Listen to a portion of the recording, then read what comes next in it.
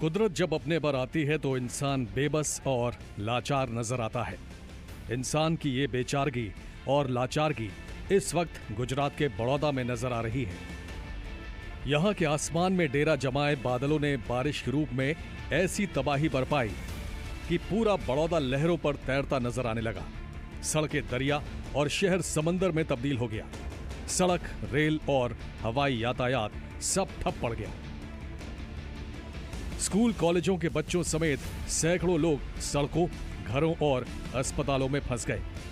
लोगों की जान बचाने और उन्हें सुरक्षित जगहों पर पहुँचाने के लिए एनडीआरएफ की कई टीमों को उतारना पड़ गया। भारी बारिश के बाद उफनाई विश्वामित्री नदी ने तटबंध तोड़कर रिहायशी इलाकों का रुख कर लिया।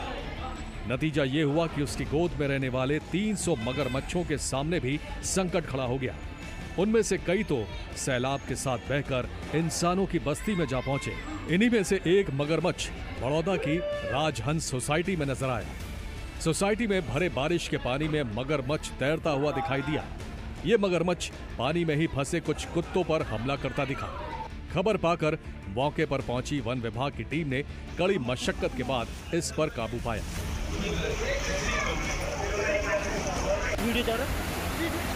वडोदरा के सावली तालुका में भी सैलाब का कहर देखने को मिला।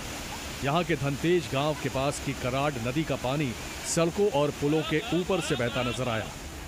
एक युवक ने इस सैलाब को पार करने की कोशिश की तो लहरों ने उसे सबक सिखा दिया।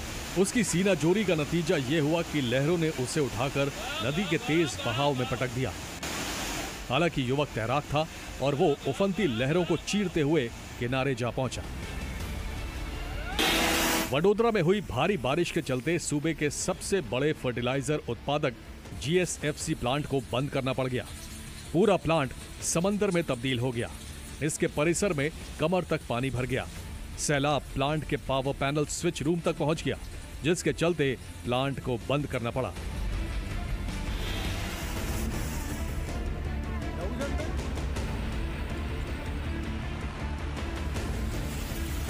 विश्वामित्री नदी के ओवरफ्लो करने से आसपास के इलाके पूरी तरह जलमग्न हो गए। आलम यह था कि लोग सड़कों पर दोपहिया और कारें छोड़कर कमर तक भरे पानी में पैदल चलकर घर पहुँचे। इस दौरान वडोदरा फायर डिपार्टमेंट को लोगों से कॉल आते रहे और आम लोग भी व्हाट्सएप के ज़रिए मदद मांगते रहे।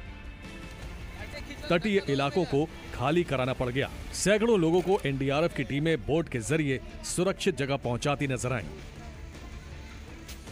वडोदरा में 16 घंटे में 20 इंच, यानी लगभग 50.8 सेंटीमीटर बारिश होने से बाढ़ जैसे हालात बन गए।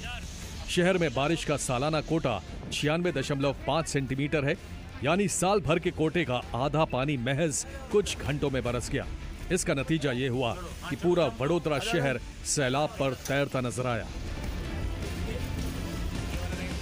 जिन गलियों और सड़कों पर लोगों का आना जाना होता था, वहाँ नावें चलती नज़र आई।